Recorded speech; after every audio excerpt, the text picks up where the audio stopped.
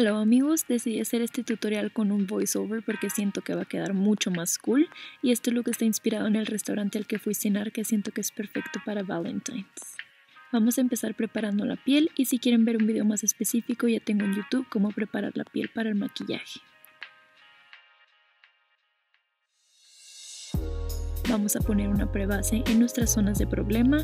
Mi zona de problema es la nariz que tengo muchos puntos negros y textura y al igual un poco en la parte de abajo de las ojeras.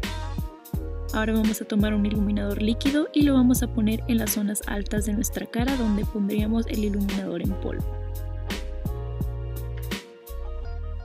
Vamos a difuminar con el dedo o Beauty Blender hasta que nos quede un glow natural. Luego vamos a pasar a la base y me voy a poner una capa ligerita y con una brocha difuminadora, que esta es mi favorita últimamente de It Cosmetics, voy a difuminar esto por toda mi cara. Y al final me gusta pasar en circulitos para que se vea mucho más natural la base. Ahora voy a poner un poco de corrector, este es el Bye Bye Under Eye Concentrate de It Cosmetics que me encanta porque no me deja pastosa la parte de abajo. Y no se les olvide poner también al lado del lagrimal, que ahí donde a veces se nos oscurece bastante. Ahora voy a poner el Bye Bye Breakout en todos los granitos que tengo. Fui a la playa la semana pasada y me salieron bastantes imperfecciones y fui a mi retoque de fillers en el mentón, entonces como ven lo traigo súper inflamado y con moretones. Y con una brochita vamos a súper leve, pero cuando digo súper leve, súper leve difuminar alrededor de la imperfección para tapar el color. Y ahora vamos a poner polvo en las zonas que no queremos que se nos mueva ni se nos haga creasing, como en la parte de abajo de los ojos y un poquito al lado de la nariz para que no nos brille esa comisura. Ahora con mi bronceador de mousse que ya casi ni tiene, le voy a rascar un poquito y me voy a hacer un contour súper súper natural en la cara para que se nos vea la piel toda lisita. Y con la paleta de bronzer de Dior, que es un bronceador súper natural, voy a intensificar el color, pero con muy poquito producto en polvo para que no se vea cakey la cara. Algo natural así. Ahora voy a tomar un rubor rojo, este es de Style Nanda, y con mi brochita de blush lo vamos a poner por todo el pómulo.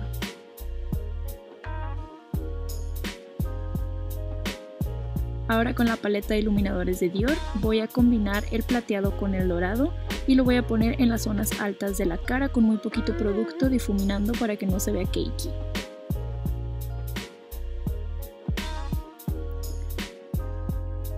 Ahora me voy a hacer la ceja, esta depende de tu gusto, pero a mí me gusta peinarla para arriba, rellenar un poquito con color y luego poner un gel de ceja transparente para que no se me muevan en todo el día.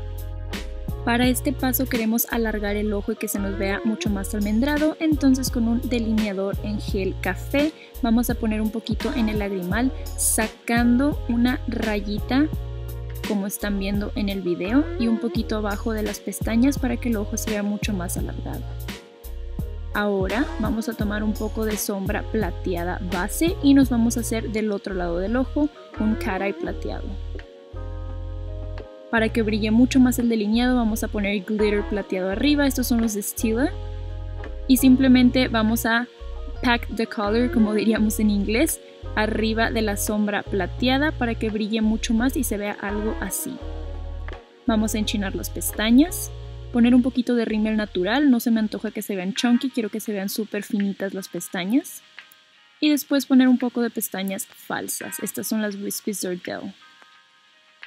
Ya que me puse las pestañas, creo que me gusta más el look con puro rímel, pero me voy a hacer la boca y de ahí voy a decidir cuáles se ven mejor. Me voy a delinear los labios con un delineador vino oscuro por toda la parte de abajo.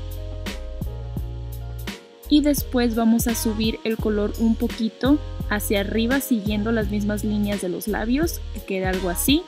Repetimos el proceso en la parte de arriba y ahora difuminando el color hacia abajo para que quede algo así.